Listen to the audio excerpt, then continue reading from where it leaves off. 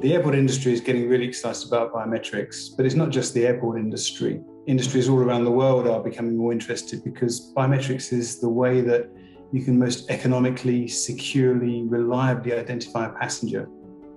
Airports are very complicated spaces. You need to process a lot of people very quickly, very reliably, very securely.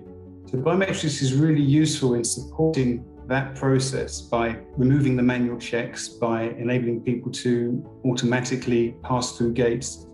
In many countries, traditionally, biometrics has been in the sort of border security control space as kind of a, like a one-stop enclosed solution. What's really exciting today is the way that biometrics is starting to cover the whole journey. And I think that's the right way to go because as airports, we need to sort of consider the whole passenger experience rather than have these little separated boxes.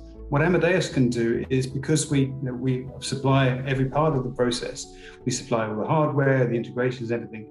We can give a simple way for an airport to deliver that end-to-end journey.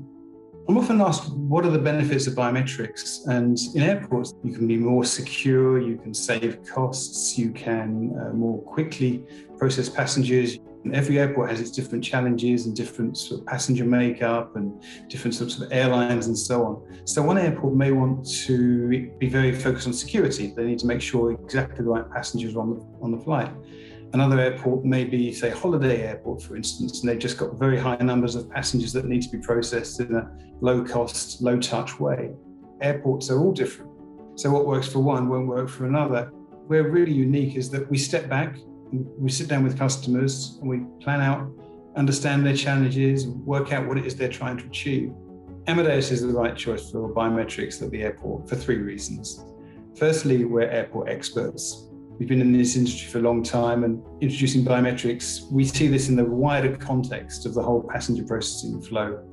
The second thing is that we are masters of every aspect needed for biometric processing. So, from hardware to software, everything is in house. The third reason is that we remove the complexity.